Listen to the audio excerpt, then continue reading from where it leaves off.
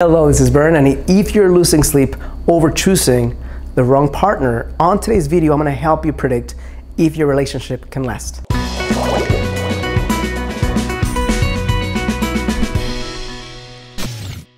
Hello, this is Bern. Welcome to another edition of BernMendez.com. And if you are questioning, wondering, anxious about your feasibility of moving forward for the long term with a guy, then you're in the right place. Listen, through all the years I've been helping women find love, I have never encountered someone who connects with me and says, Hey, I want to find an amazing man for a very short relationship. Why? Because if you want to find, if you're putting in the effort, the energy, all the things to get into a relationship, you want it to last as long as possible. So I'm gonna base this video on the principle that you are like the majority of human beings who want to extend pleasure, fulfillment, joy, intimacy for as long as possible. And if that's the case, and what you've experienced is the opposite of that, maybe you there's a guy that you connect with and you don't even find him, he finds you. and as he finds you, he starts reaching out, making time, showing up, being gentlemanly with you. And in the process of that, you start falling for him. And maybe a month into it, things seem to be going great. And maybe two months into it, things have fizzled he's disappeared, he's pulling back, he's ghosted you. If you've experienced this more than once, and if it hurts you every time you experience this, what I want to give you right now is how to diminish the risk of this happening. And the first principle I want to share with you is that there is no magic pill, no magic cure to where you can avoid that 100% from happening. But what you can do is you can diminish the risk. And this is, this is what this video is all about. First question you need to ask yourself in terms of evaluating whether the guy can connect with you or not and ride the wave with you for the long haul is if your life stages are compatible.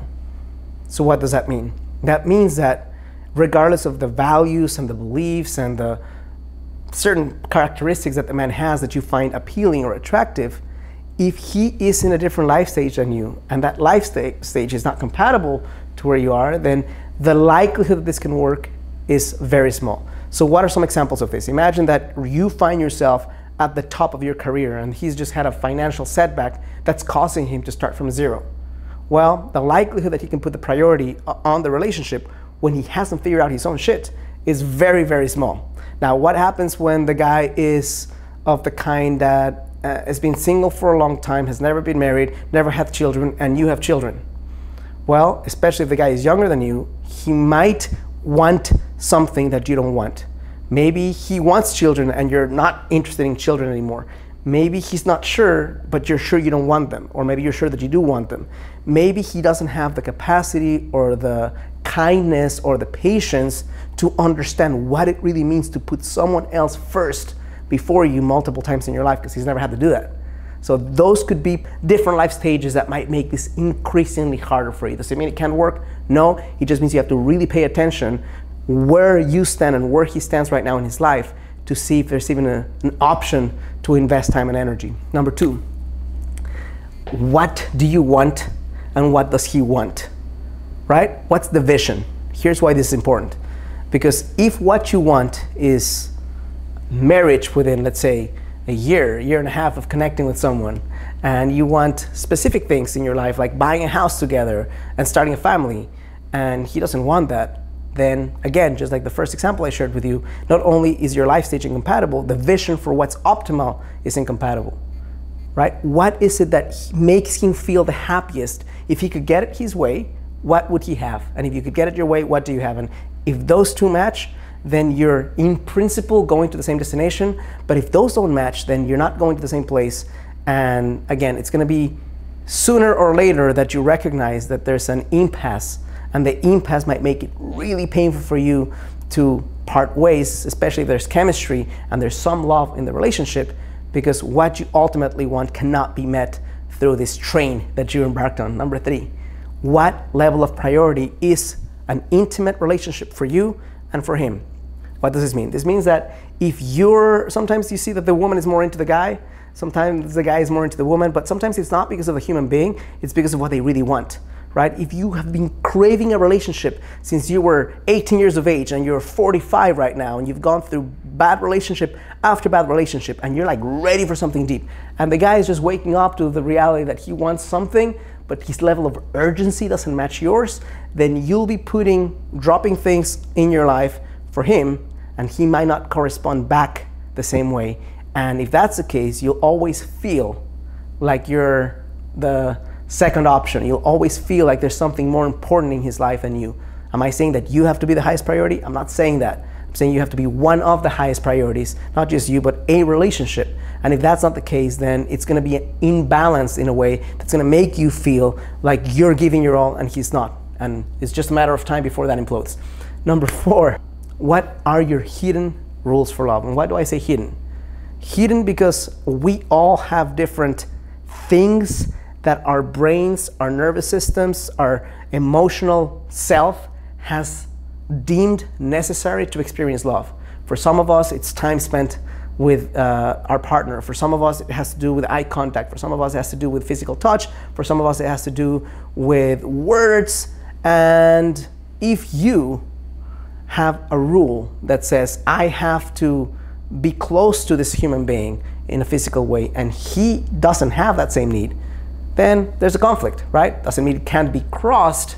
It just means that if he's not interested in that, and that's a requisite for you, that's a hidden rule that you have for experiencing love, then you either have to change your rule, which you may or may not want to do, or you may have to find someone who has the same level of willingness to step into something that makes you feel loved, appreciated, heard, seen, felt, admired, witnessed, all of that. So you need to find out what are his rules for love, his rules for appreciation, his rules for respect, and he needs to find the same thing for you. And if there are incompatible rules, like his rule for love is time by on his own constantly, and your rule for love is time in union, then that's an again another impasse that's going to make this very very difficult for you to experience fulfillment in a relationship like this.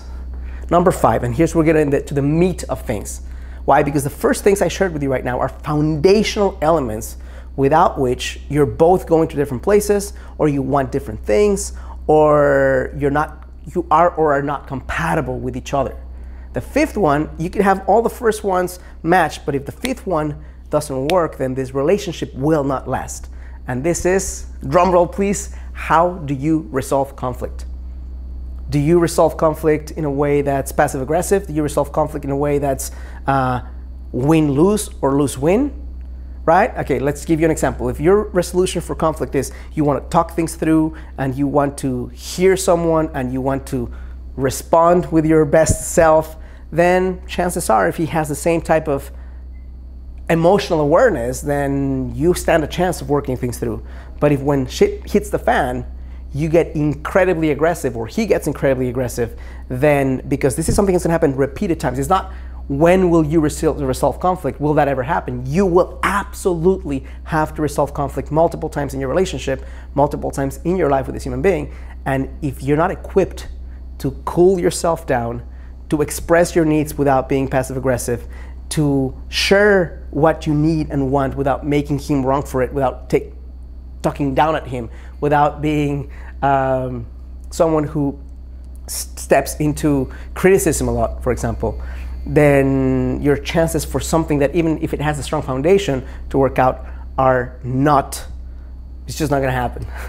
so here's what brings me to a big takeaway for you right now. Because the things that I'm sharing right now are things that number six, point number six is how long do you take to go?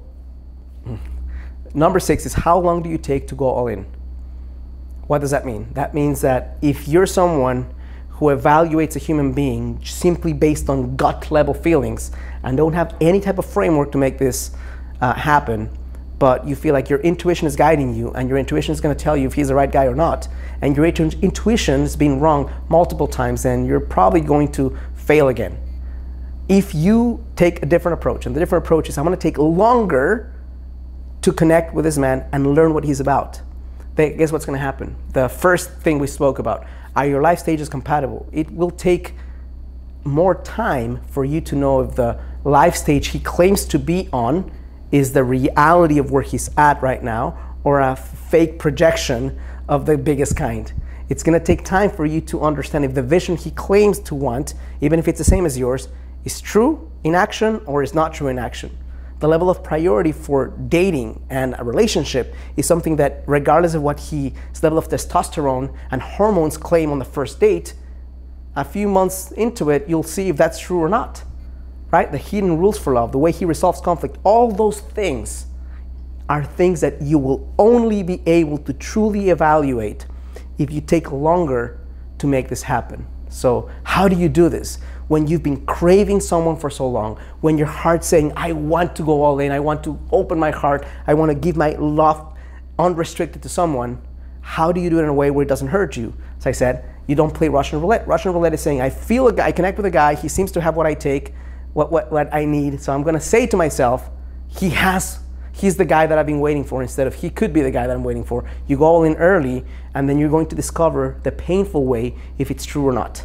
If it's not true and there's a high likelihood that it isn't, then your heart, your soul, your body, your hormones, everything's involved in this thing and it's going to be so much more painful for you to detach from it than if you take the space to get to know him and get to know more men along the way. And only when you've truly determined mutually that it's a compatible, sustainable, fulfilling, productive, respectful, and vision oriented, uh, mission, visions match type of relationship that you say, I'm going to take the next risk, which is exclusivity with this human being.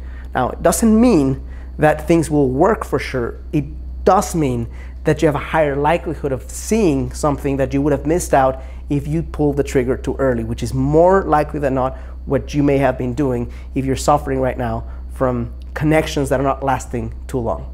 Hope this is helpful, useful, and insightful, my dear. If it is, and you want to understand how you can cut down some pain and enter a relationship with more awareness and more uh, passion, then on the first link on the description of this video, I created a training for you that you can go to through and it's free. All you have to do is click on the first link in the description of this video, enter name and email, and you'll be immediately redirected to this class and this training that I created for you. If you like this video, click like or thumbs up and subscribe to my channel. When you subscribe, if you hit the little bell, you'll be notified of new episodes as they come out. And last but not least, if you're someone who's listening to me right now and you've been watching my videos or somebody else's videos for a while. You've been doing the law of attraction, you've been doing yoga, meditation, you've gone to therapy, uh, you've watched other uh, programs that have to do with finding the one, and it's not happening for you. My best guess is that you could seriously benefit from hand holding and guidance that's customized to your needs.